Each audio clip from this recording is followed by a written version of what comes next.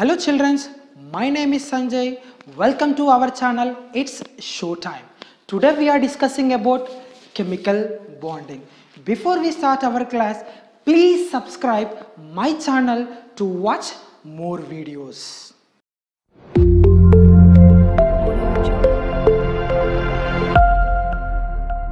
Hello children, in part 1 video we discussed about a introduction.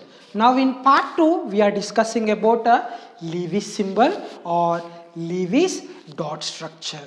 We observed in periodic table elements are arranged according to their electronic configuration. Once we observe the elements in our periodic table, the noble gases, there are 18th group or zero group elements. We are calling them as a noble gases. So there we observe the noble gases elements that does not react with uh, any other elements to forming as any chemical bonding. So those elements are least reactive or they do not react to. That makes the reason for the formation of chemical bonding on what basis? Why we are discussing about chemical bonding? That was only observed from our periodic table only by the noble gases elements. If noble gases elements are not there it's very difficult to understand uh, how elements are combined. So if we observe the noble gas elements their valency will be zero so why the noble gas elements valency will be 0 if we observe the electronic configuration of the noble gases elements. For example, if we see helium, neon, argon, krypton and etc. So these are the elements belongs to noble gases. Those are 18th group uh, or 8A group because they are stable elements. Why we are uh, noble gases we are calling them as a stable elements because they will not participate in any chemical reaction like uh, other group elements. If we observe their electronic configuration, the helium electronic configuration it's 2 comma 2. Sorry, it's uh, only the 2 because uh, atomic number will be 2 and if we observe for the neon atomic number will be 10 its electronic configuration 2 comma 8 if we observe for the argon it is uh, 18 the electronic configuration will be 2 comma 8 comma 8 if we observe for the krypton the electronic configuration 2 comma 8 comma 18 comma 8 and we can observe here. So this is the first shell k and this is the second shell l and this is the third shell M and this is the fourth shell N if you observe the valence electrons. Children, what do you mean by valence electrons? Valence electrons are nothing but uh, the number of electrons present in the outermost shell. That means the last shell. If you see for the helium, it has only one shell. It is a K. So in that valence electrons are uh, 2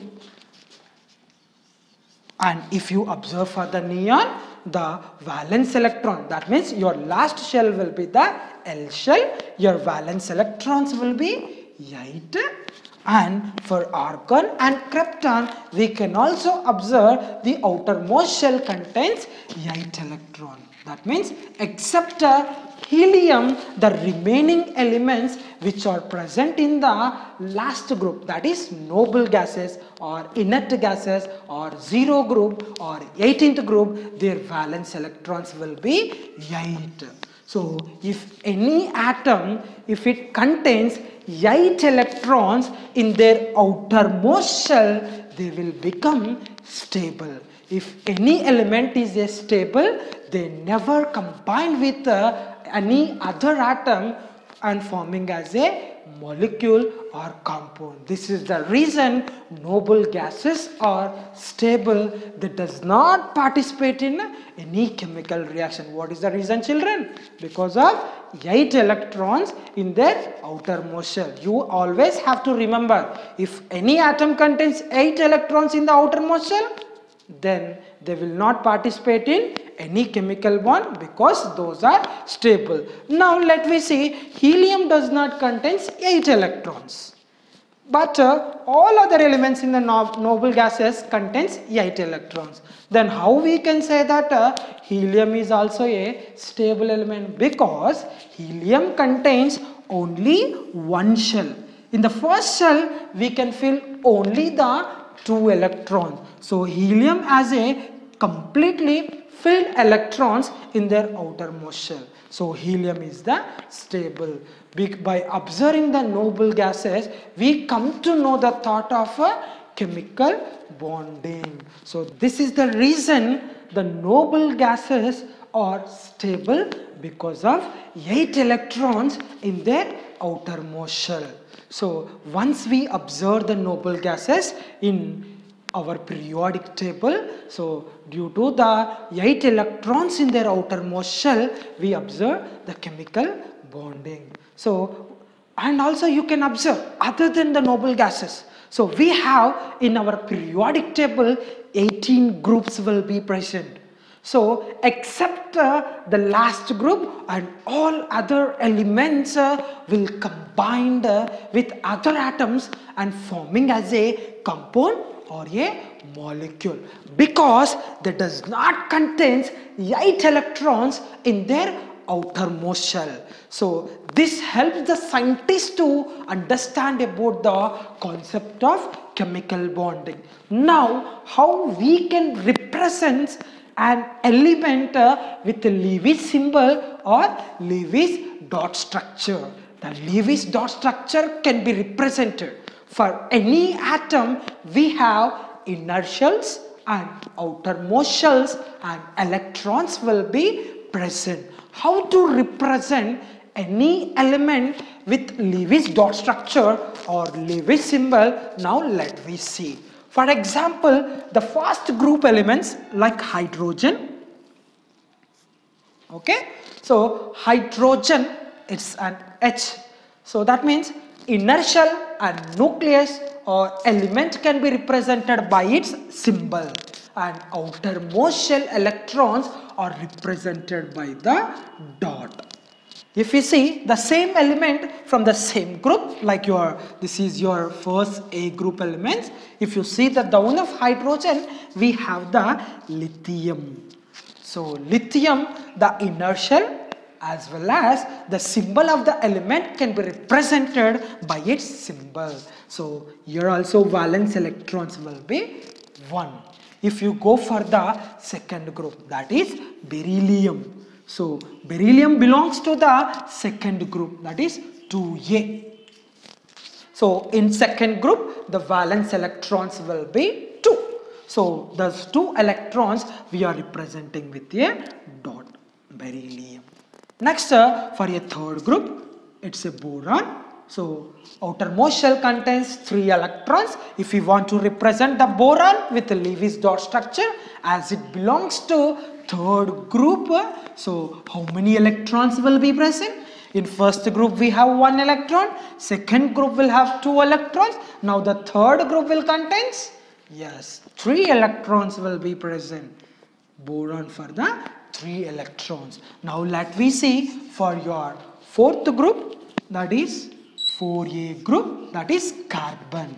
So carbon belongs to fourth group. So it contains 4 electrons. We are placing a dots in all the four sides. Similarly, if you observe for the fifth group element that is 5a, fifth group elements that is nitrogen. So in fifth group how many electrons will be there? 5 electrons. 1, 2, 3, 4, 5 and sixth group that is 6A. So in 6th A that is oxygen 6 electrons will be present 1, 2, 3, 4, 5, 6. Now let me see your seventh group element that is 7a. So seventh group elements uh, will contain 7 electrons that is fluorine. So 1, 2, 3, 4, 5, 6 and 7. Now let me see your last group elements that is eighth A group elements that is the neon. So eighth group elements contains 8 electrons 1, 2, 3, 4, 5, 6, 7, 8. If we observe clearly how to represent a Lewis symbol or Lewis dot structure, you have to know how many groups will be there. 8 groups children, we can remember the 8 groups.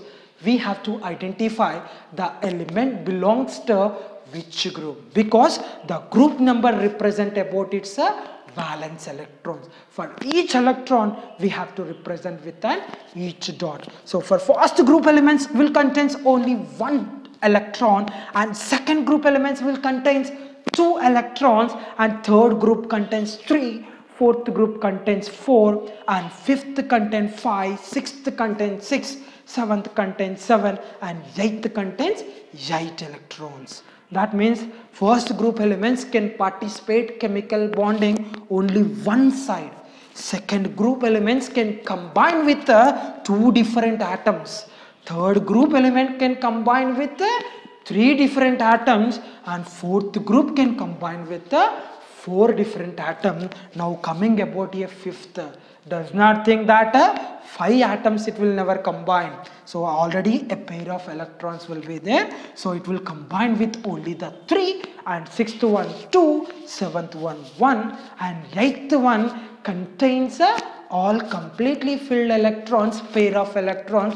This is the reason eighth group elements that does not participate in any chemical bond. That means 1, 2, 1, 2, 3 and 4 and again 3, 2, 1 and 0. So this represent about a Lewis symbol or Lewis dot structure.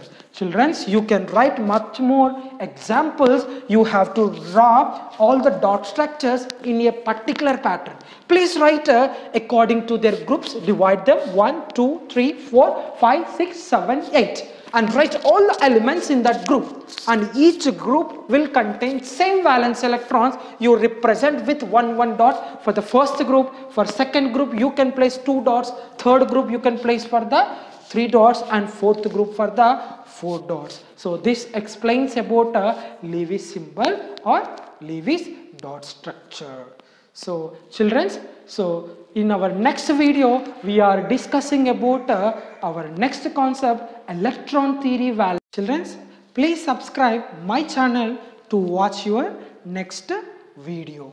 Thank you.